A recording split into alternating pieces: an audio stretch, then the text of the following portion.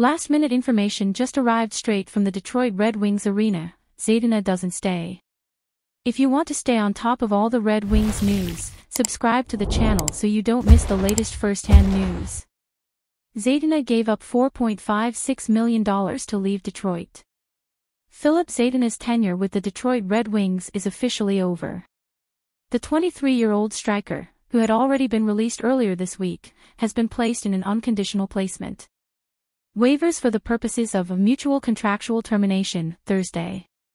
He had two seasons left on the three-year, $5.475 million deal he signed in the most recent offseason. Upon terminating her contract, Detroit removed Zadina's cap of $1.825 million in 2023 to 24 and 2024 to 25.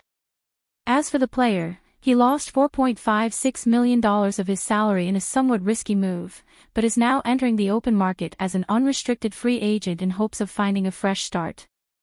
Leave your like on this video so you don't miss the latest Red Wings news firsthand. TSN's Chris Johnston also reports that Zadina already has a few teams looking to sign her services, meaning the 2018 sixth overall pick likely won't be a free agent for long. The left winger debuted with the Red Wings in 2018-19, scoring a goal and three points in nine starts.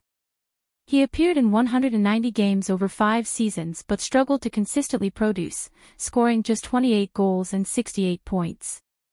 Red Wings general manager Steve Yzerman revealed on Monday that Zadina's camp asked for a trade a few weeks ago. Nothing materialized, however, prompting the club to put him on resignation.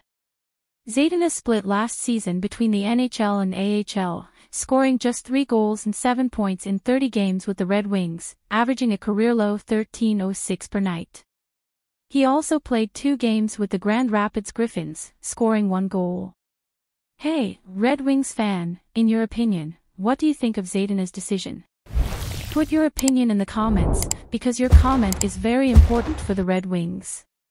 Do not forget to subscribe to the channel, because at any time I will give you more information exclusively.